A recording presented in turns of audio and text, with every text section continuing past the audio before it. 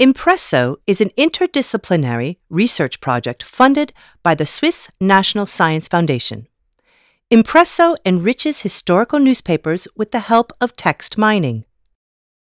To do this, a team of computational linguists, digital humanists, designers, and historians from Switzerland and Luxembourg work together with a consortium of libraries, newspapers, and experts in media history. Newspapers are mirrors of past societies.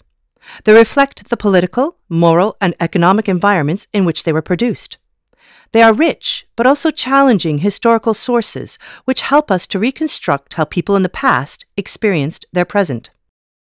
Their value is reflected in large scale digitization efforts by libraries and commercial operators. Through digitization, historical newspapers are transformed into digital objects. The Impresso project integrates natural language processing techniques and interface design to facilitate seamless navigation between distant and close reading and to allow a critical assessment of patterns and biases in the corpus. Just as we mix ingredients and knead them together to form a dough, we can transform our data into different shapes and inspect it from different perspectives. Impresso's work plan involves three steps the first is data acquisition, which means obtaining digitized newspaper sources from cultural heritage institutions and pre processing these in order to make them ready for large scale processing. Once the data is ready, we apply text mining techniques to extract information from the textual content of the newspapers. This process produces a semantic annotation layer on top of the sources. Finally, this layer can be searched, browsed, and visualized with the help of our interface. To get a better idea of what Impresso does, let's take the example of the Battle of Arnhem in September 1944. In what was the largest airborne operation of its time, Allied troops attempted to advance into Germany through the Dutch border region, but ultimately failed.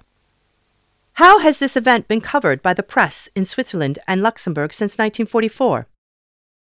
There are multiple ways to study the newspaper coverage of the event with the help of natural language processing.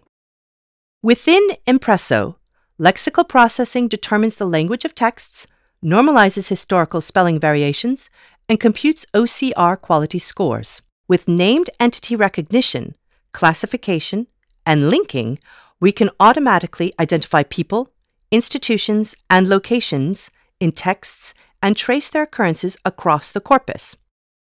Topic modeling clusters reveal themes across newspaper articles based on the probability that they share the same vocabulary.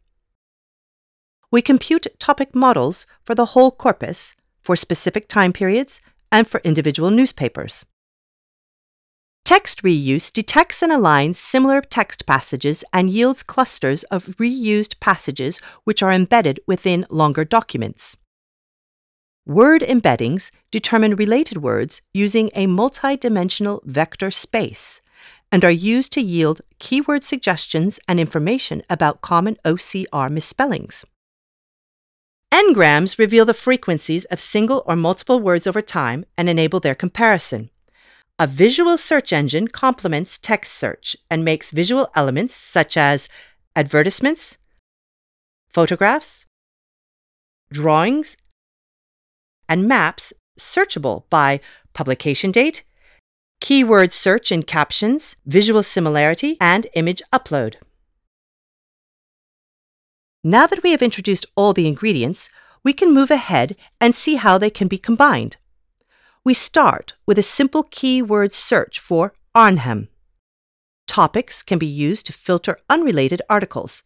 In this case, we retrieve many articles about the football club, Vitesse Arnhem, by applying additional filters for time, article type, topic, and country of publication, we can create collections of articles. In this case, we choose all non sports articles which mention Arnhem and are published in Switzerland from 1944 onwards. Let's take a look at one of them.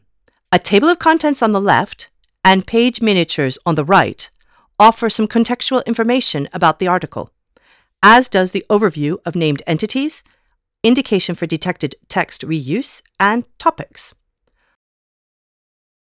A recommendation system suggests other relevant articles. Is there a difference in the coverage of the Battle of Arnhem and the Battle of the Bulge, which began in December 1944? Does the coverage change over time or from one newspaper to the next? Who are the key actors? To find out, we can compare queries or collections and move seamlessly between distant and close reading. Impresso was designed to integrate text mining and design with the aim of enriching historical newspaper collections bridging silos between them, and opening them up for search and discovery. This was a very quick overview of our ongoing work with Impresso. We invite you to take a moment to try out the interface and find out more about the project.